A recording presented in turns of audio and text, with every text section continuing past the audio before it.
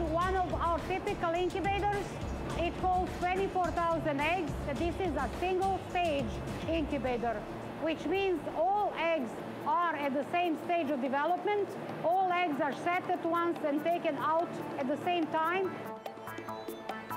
Turkey eggs spend 24 to 25 days in incubators at temperatures from 75 to just over 100 degrees Fahrenheit.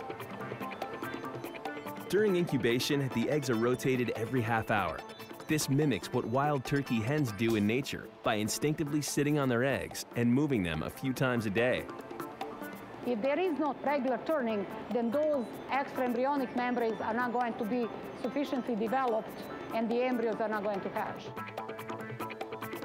About 20 days later, they're almost ready to hatch. But there's one more important step.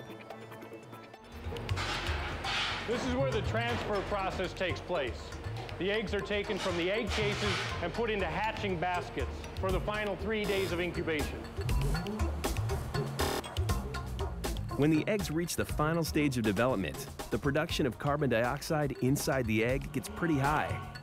It's the need for oxygen that makes the baby turkey start pecking its way out of the shell after taking their first breath from the blunt, the rounded end of the egg.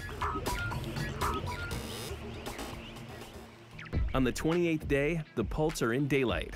They'll stay in the hatchers drying out up to 30 more hours, curiously with no need for food. They have pretty significant amounts of the nutrient reserves, primarily located in the yolk sac. They can live off the yolk for at least three to four days after they're hatched. A discerning eye tells the boys from the girls, and once their sex is determined, the birds are separated. They will remain segregated for the rest of their very short lives.